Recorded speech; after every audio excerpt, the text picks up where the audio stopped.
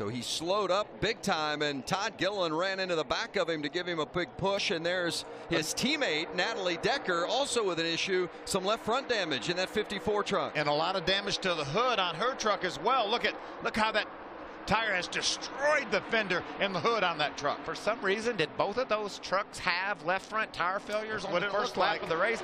She's got more issues than that. She's tore her oil line off right there. And that's a big problem for Natalie Decker making her first truck series start here at Daytona. That'll bring out the caution as she's on pit road. And it is indeed out. Natalie Decker out of the truck.